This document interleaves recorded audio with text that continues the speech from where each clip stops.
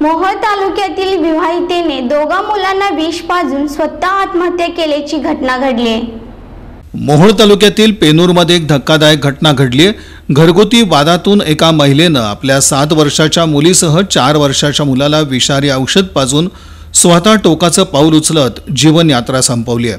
प्रियंका चौरे असं महिलेचं नाव असून सात महिन्याच्या सुप्रियाचा यामध्ये मृत्यू झालाय.